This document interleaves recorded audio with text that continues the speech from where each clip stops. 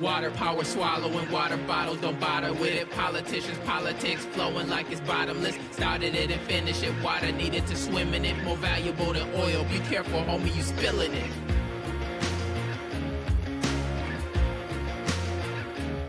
We are back again with yet another installment of the People's Water Board's Water Wednesdays webcast. As always, I am here with my beloved co-host, Valerie Jean.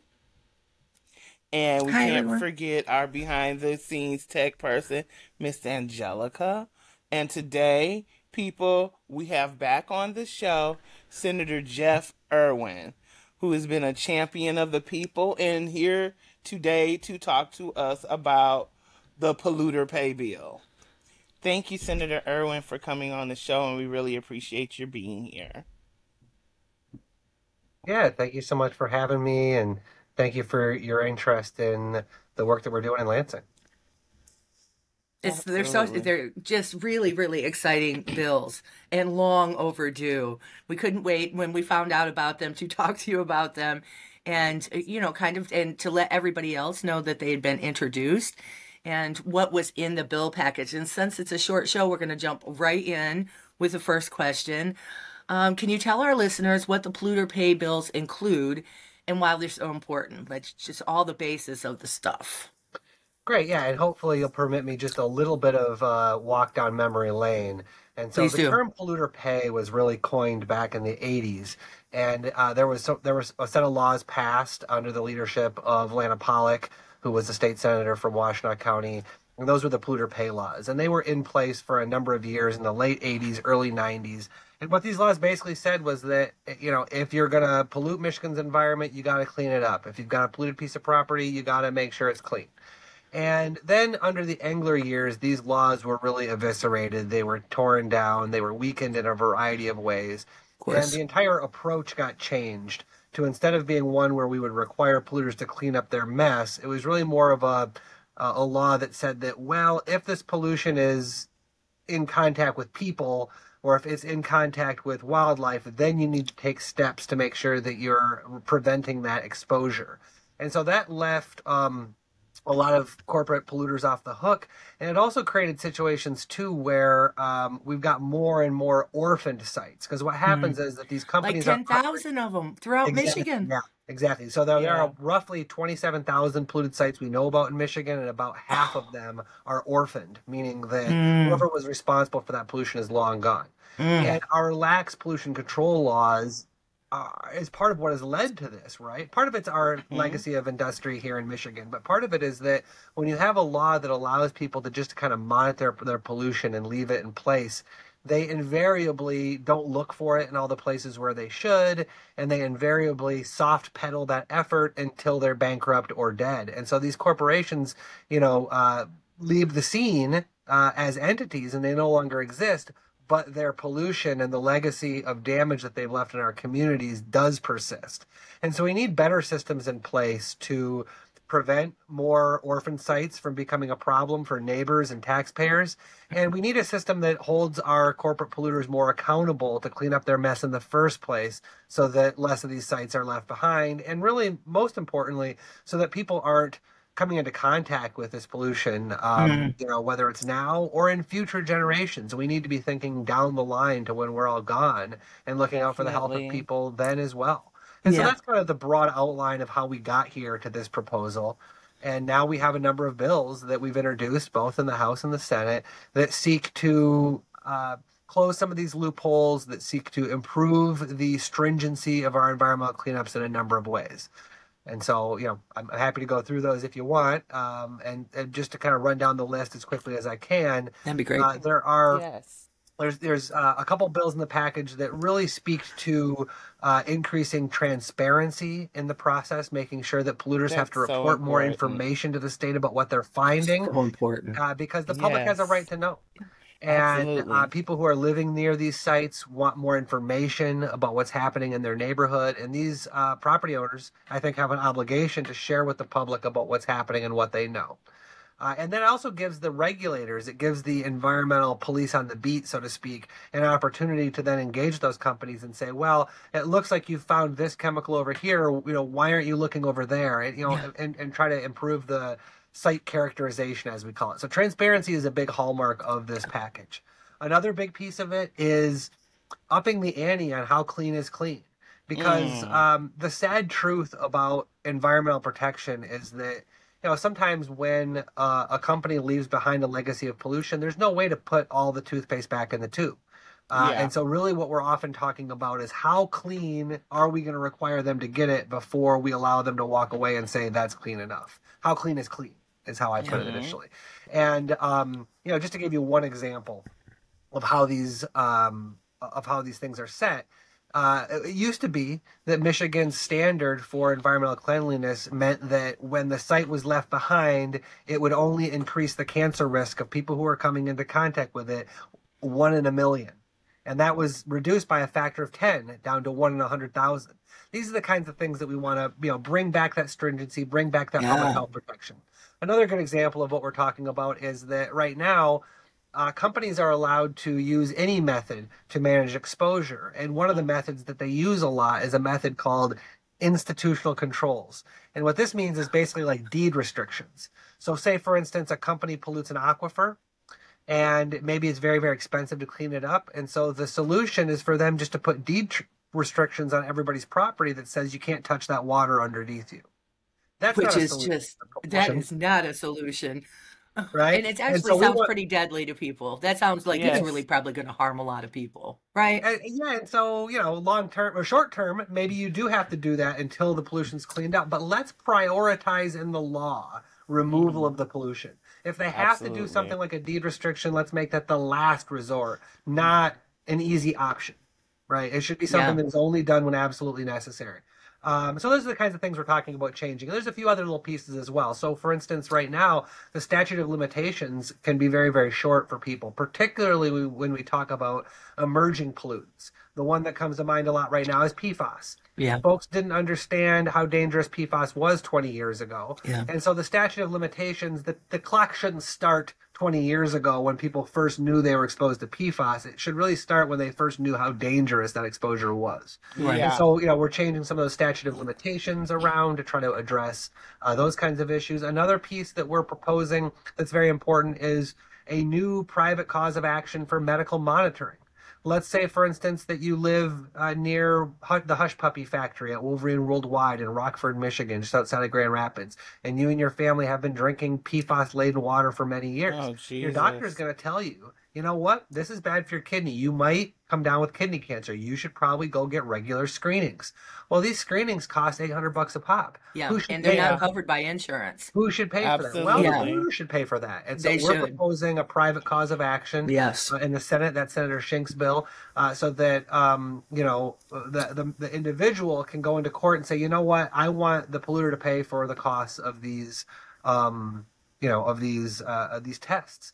So those are the mm-hmm. kinds of things that we're you know proposing here, uh, filling some of these holes, giving citizens more information, giving them more authority to be able to go into court to fight for their own needs, uh, and uh, you know uh, also giving the state regulators more tools and more authority to say, you know what, you can get rid of more of this pollution and and yeah. we're going to require you to do so. And it's expensive because they well they should there a lot of times PFAS shouldn't even be being used. Like the stuff that they're using that ends up in the stuff in the water and in the environment doesn't even yeah. need to be used. We've been, we've interviewed a handful of people, and um, uh, you know, and advocates who have told us that that a lot of times these are these chemicals aren't even needed that yeah. end up in our stuff. But yeah. you know, the we have our dear friend Andrea Pierce. She was on our show a couple months ago, um, and her mom actually was exposed to PFAS and died. And because none of these regulations, none of these laws and bills are in place right now, she's having a heck of a time holding people accountable, corporation, the corporation Absolutely, accountable. She is. And um, it's devastated her entire family. You know, she it was really, really devastating. So if these things were already in place, and maybe if they're in place soon, that will actually be able to help people who are feel like they're in a hopeless situation right now, fighting these corporations to get accountability. Yeah. Yeah, it's incredibly challenging to hold these corporations accountable, particularly when people have been damaged by environmental pollutants, because it's genuinely very difficult to prove that somebody's cancer, for instance, came from exactly this or exactly that. And, uh, you know, these companies have tremendous resources to bring in all sorts of experts to, you know, um, Yeah. you know, kind of fog up the courtroom and uh, Mhm. create doubt and uh, it, you know it's really challenging for residents who don't have those kinds of resources who don't have Yeah. those deep pockets who don't have the same uh, intense interest in you know protecting the bottom line of the company uh, that these companies have and they get they get rolled over in court all the time um, Yeah, no, she's she's looking at that. That's what that's what it's looking like for her. These bills would actually really help her and her family if they were um if they were pushed all the way through. They through. would, and I completely concur. And it seems like this uh, legislation would not only be retroactive but proactive as well, which I think is always um, a very positive way to handle situations because, as you said, we do have people and properties and land that's already been damaged, and we also want to prevent this before it starts. So, with that being said, how exactly will this legislation hold corporations accountable and make them clean up like all of these massive sites of contamination across Michigan? Yeah, well, there are a, a, number of elements, right? I mentioned some of them already. One is giving the regulators the authority to say, you know what, you can get rid of this pollution, not just cap it and cover it up and manage human exposure to it, but you can actually remove it. And we, and that, that that is one core component. Another element that I didn't mention in my initial description is one of the pieces that I think could really help prevent some of these orphan sites from continuing to fall onto the list, and that would be uh, something that we call financial assurances, is what we call it in, in Lansing. Uh, and this is something that we already do for landfills. So take a quick step back. Something that the legislature noticed about landfills a long time ago is that you know landfills have so much icky stuff, and they're so difficult to control that they very routinely end up leaking into the groundwater and causing big problems. Yeah. And when they cause Yes. big problems, they cause problems that are bigger than the companies that own these landfills can even cover because they're just so expensive. And so, what the state requires, in with, with respect to landfills, is uh, some sort of bonding or insurance or a line of credit, some sort of financial assurance that if there's a big problem, there is a pile of money to go after first before it becomes a problem for the neighbors and the taxpayers. And so, what we're proposing in this set of polluter pay bills is uh, to extend that authority to other types of businesses, to dry cleaners, to businesses that generally have to file uh, these um, pollution incident uh, plans, is what they're called. So, basically, we're talking about companies that are holding uh, large amounts of chemicals or uh, working with a lot of chemicals in their process, that they would have to have some sort of bond, some sort of insurance, so that, uh, you know, if they do have a problem, rather than just disappearing behind the corporate veil of bankruptcy, Yeah. leaving that problem for everyone else and their neighbors and others. Instead, there's this financial instrument over there to, to, to use to, to, to provide resources for cleanup. You know, and that's that's super important. I mean, when we look at some of the old um, industrial sites across Michigan, you look at some of the old, you know, GM bankruptcy sites. I've got one in my backyard, the old Willow Run plant. Uh, there are such extreme uh, contaminants at some of those sites that the money that's been set aside to care for them, you know, may not be enough. And so, uh, you know, requiring that there's a financial instrument or a financial assurance there uh, uh, to go after in those cases, um, you know, is, is very, very important. Particularly when we start talking about things like dry cleaners, a lot of these smaller businesses that uh, don't They use a lot of chemicals. resources. Yeah, they don't, and, they, and they're not. They're usually, you know, owned by pretty small entities, and and those folks retire and sell, and and they're gone. And and so we need something to be able to make sure that that doesn't become a cost to the taxpayers, either in our bodies, in our health, or in our pocketbook, either. And so that you know, that's another element that I, I left out of my initial description. Absolutely, I Uh, completely um, it's so. It. I do think that it's so important that um, that even to the smallest businesses to the largest corporations that these bills um, really speak to all of that because those small businesses. We had the small business here in Detroit who was um, that, that was an abandoned site. and this there was green ooze leaking out. I don't know. It, I don't know if you guys remember a couple years ago, but there was like green ooze leaking out of the building onto the freeway. I can't remember exactly what it was called, but it was this terrible stuff, right? Um, and that was a smaller business. It wasn't a huge company, Co- so really makes sense that um, that it would uh, that the this legislation would across the board protect folks um, in that way. Uh, what can people do to learn more and get involved? What can we do to help um, push these through all the way? Yeah, Well, the most important thing is for people just to talk to their lawmakers about it, right? Every single person who's listening has a state representative and a state senator who represents them. If that's me, if I'm your state senator, you know, write write my office, send me an email, uh, make a phone call, uh, say that you support this. Yeah, obviously, I, I, I help put the bills together. I've got my name as a sponsor of one of them, so uh, I, I'm clearly supportive of them. But Right. uh, you know, I, I encourage everybody to do that, and I, I always Yeah. encourage folks to exercise that muscle of activism, even if Mm-hmm. you're reaching out to, you know, somebody who, who agrees with you. Some folks don't want to preach to the choir, but the choir has to practice too. So, so there's nothing wrong with that. Absolutely. But Well, it's good to know that your constituents are supporting what you're introducing too. Like that, Exactly. like that's, you know, like you know that you're doing something right then, right? When you're getting lots of calls of support. Exactly, Yes. exactly. It but you know, for those of you who might be listening, who I'm not your senator, uh, uh, you know, reach out and, and just say, hey, look, I've heard about this legislation. You know, I'd like you to support it. Where do you stand? And uh, that can be incredibly important, right? All of the legislators have regular community events. At least most of us do. I know I have regular community events where I do town halls or coffee hours, these kinds of things where folks can come out and chat with me about what's important to them. And you know, I hold these events, and I think a lot of my colleagues hold these events because we really do want to know what's important to people. And so, if this Yeah. is important to you, you know, let them know. Let them know that you support clean water. Let them know that you want um, more accountability for corporations that are leaving a mess in Michigan. And you know, some of you may even be small businesses yourselves, and you may be able to make the argument that I've heard several times already, which is, hey, I'm a business owner and I don't want to have to compete against somebody who's cutting these corners. I don't want to Yeah. compete against somebody who isn't doing everything to protect our Great Lakes and our rivers and our, our, our drinking water. Um, so, you know, there's a, there, there's a lot of different angles that people can come at this issue from.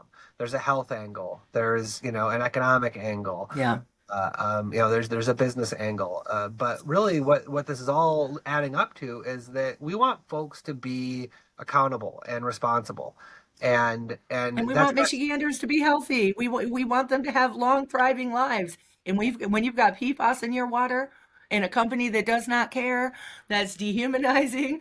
It ruins your family, uh, generations ahead. You know, like those things are that's that's serious. It is.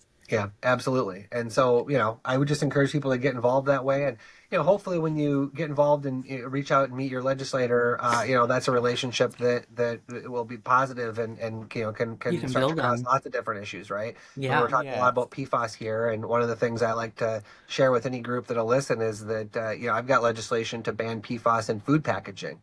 And so if you don't Oh, know it, your fast food burger wrapper, your French fry pouch. Those things are all lined with PFAS. Your Yeah. you know Yes. to go container at the salad bar probably is lined in PFAS, and and um, you know the, one of the most powerful tools that we can use to get change. I mean, one tool is, is government action, and, and I'm very interested and involved in that. Something that, Yes. that I do every day. But another tool is consumer action, and I think that when people know more about you know what's going on in our consumer economy, they can make their own choices. They can vote with their dollars, so to speak That's right. and that's an incredibly powerful way to organize as well.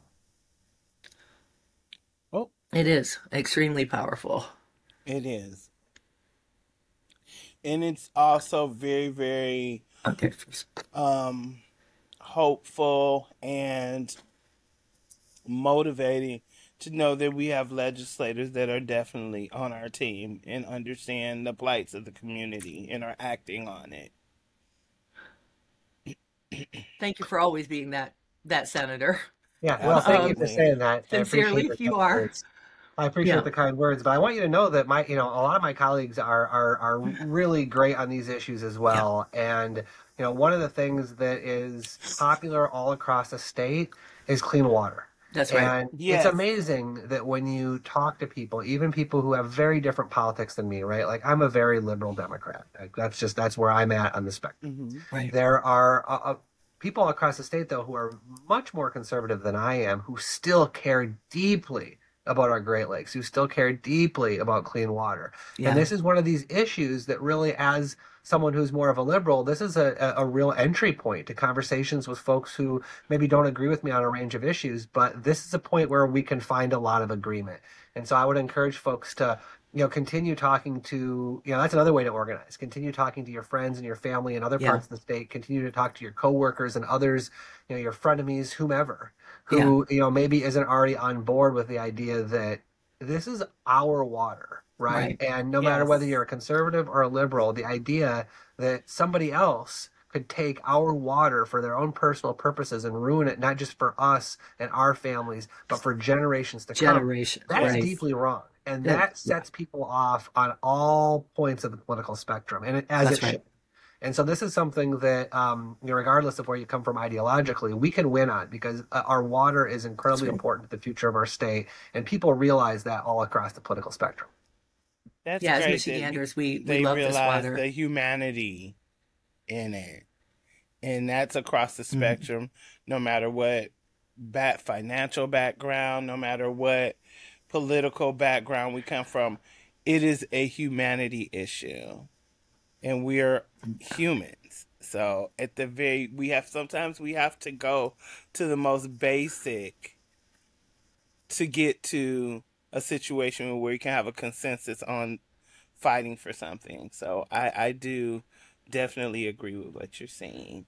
Um, do you have Water brings final... it. I, I've seen it across all kinds of movements. Right, water brings us together yes. um, on a different level than any um, any other any other thing that's happening. Water brings us together. I've seen it over and over and over again. it does. Indeed. Yeah. Well, it's brought us together here today, and that's a Yes. big part of what we're talking about is trying to make sure that you know when folks pollute our water or our land, that they're held accountable and that they're required to clean that up, and that you know um, the types of businesses that we attract to Michigan are businesses that know that we care about pure Michigan, we care about our Great Lakes, and That's our right. water, and we're going to hold you to a high standard, and you're going to be happy to be here as a result of that.